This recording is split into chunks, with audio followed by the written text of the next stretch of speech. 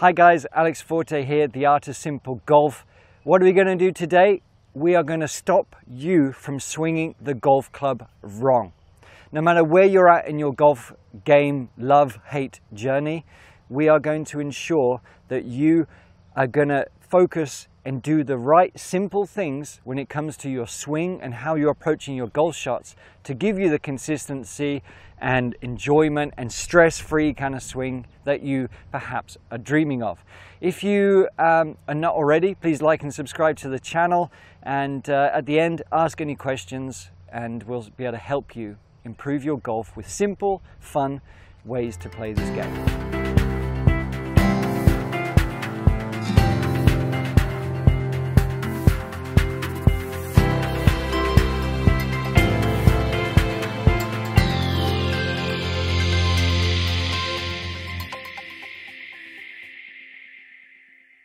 So, how are you swinging the golf club wrong? If you're not one of the top PGA players, LPGA players, European Tour players, you might be swinging it wrong. But even if you're just enjoying golf, there's a different way to swing the golf club correctly, your correct way, because everyone swings differently. You just have to look at the top tour players. I talk about this all the time, but please do. Look how different their tempos are. Look how different their angles are because we are all built differently. Yes, we're all human. I mean, there might be a few creatures watching, but we are all human and we are wired very similarly. But the only real way that we are wired exactly the same is how we respond to a task, an objective, throwing, hitting, whatever it might be. Our, the thing is, our brains work the same, but our mechanics, our limb length, the, how much we can rotate is all a variable individual to me, to you, to, to the guy playing over there, everyone. So you can't just try and fit into an arbitrary model, an arbitrary swing uh, positions. I talk about this a lot, but it's so freaking important that you have to do this because trying to do so is futile. It genuinely is you have to find your swing. And what is your swing? You might think, well, my swing is something like this. That's terrible. Okay, we can improve that a bit, but we have to be able to find your swing. And the way we can do that initially is one, we're going to make sure that every single shot you hit, whether it's on the practice, whether it's on the course, you're giving yourself uh, a chance to hit a good golf shot. You've got a plan, and that's where the simple process comes in of choosing your strategy, intermediate point, matching your setup, letting go and evaluating, okay? So, you know, we, we need to do the, just a few of those elements and the results would be profound for you, I promise. But it's nothing to do with swing positions. It's nothing to do with trying to, you know, get the right angles here. It's just about telling your brain where you want that ball to go, okay? So I want a high fade. If I allow it, if I picture that in my mind, even if I've got a terrible golf swing, if I think, okay, however I need to do it, how, whatever I need to do and feel to try and hit this high fade, even if I don't really have much of a clue how to do it, just try. Just try and hit a high fade that's something like this, you know? And I did it. You, you will be able to manipulate and understand that you have way more control over your golf swing than you think you do if you're more precise. Everything I would always slice, I always slice. Just stop slicing by trying to hit a hook, okay? Just try and hit a hook. Doesn't matter how you try and do it.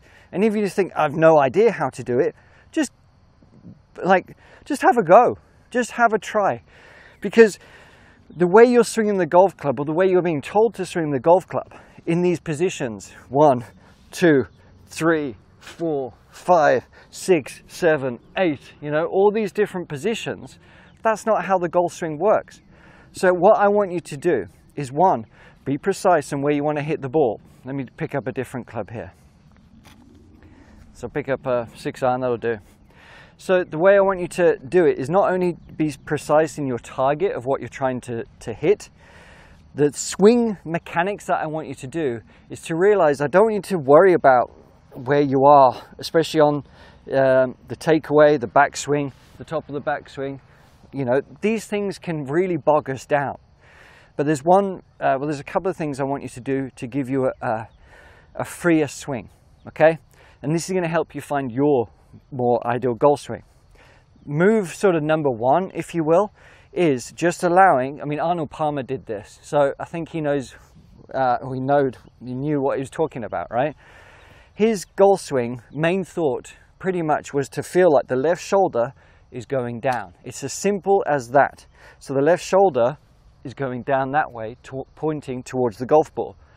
Just by doing that, okay, just by doing that, pointing that left shoulder down, allowing the arms to just go where they want, I have a perfect golf swing. you know, it's it's annoyingly simple. So you just point that shoulder down. As long as you've got you know a nice grip, you've got the address position okay, you've got um, you know suppleness in those arms. You've got suppleness in those arms, and you just allow some flow, okay, for that left shoulder to point down. You're going to get into a nice, strong position here. Now, if you find that just by pointing that down that your arms are kind of coming out a bit too much or whipping on the inside a little bit too much, what I would like you to do is just have a feeling that the upper arms, just the upper arms, like I don't want the elbows tucked in, just the upper arms here, like the biceps. And what you can do is just tuck the armpits in a little bit to feel this. But that's going to give you a bit of connection to sort of encourage you to allow the arms to flow along that sort of path as you're pointing the shoulder down.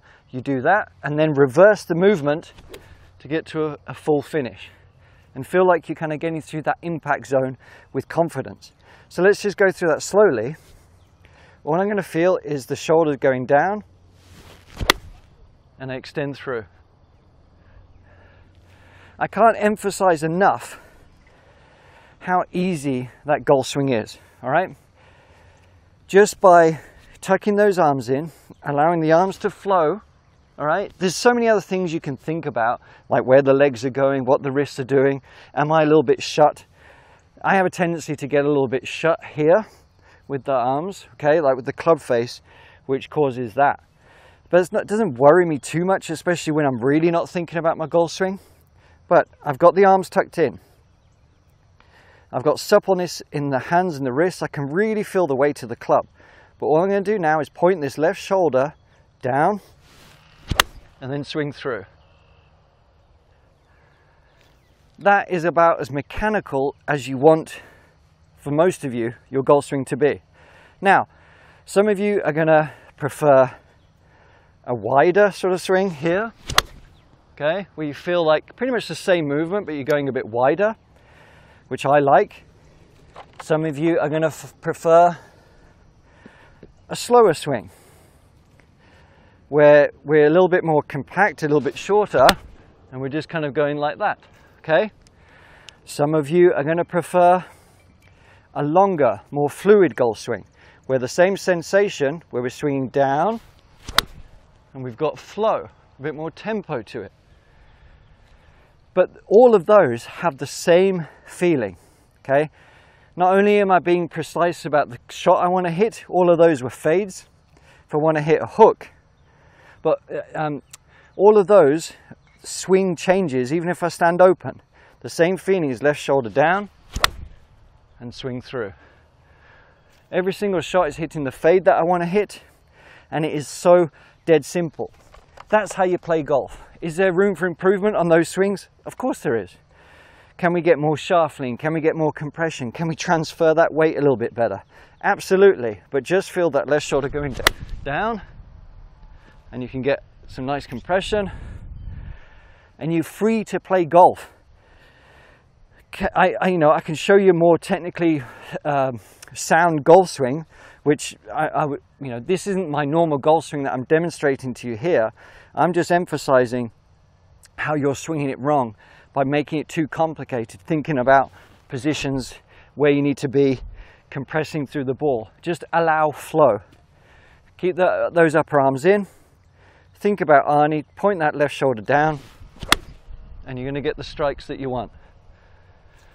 Okay, it's, it really is as easy as that. So stop swinging the club wrong. Stop trying to just do arbitrary positions react to your target. You know, whatever shot you're hitting, let's take a wedge. Just pick a ball, come here. 54 degree wedge. I mean, this is a little pitch shot here, but it's the same thing. I'm going to make sure that I'm picking my target. I'm matching my setup, but I'm going to feel the same thing. Those arms tucked and pointing the left shoulder down just to here and feeling the weight of the club as I come through. That's the shot and I'm going to go for a nice clean sort of spinny strike to that orange flag there. Left shoulder down. And I nip it off the turf. And it, I mean, it carried a little bit too far, but that's the idea. I was being precise, but with the same mechanics. But find your tempo, find your rhythm, find your width.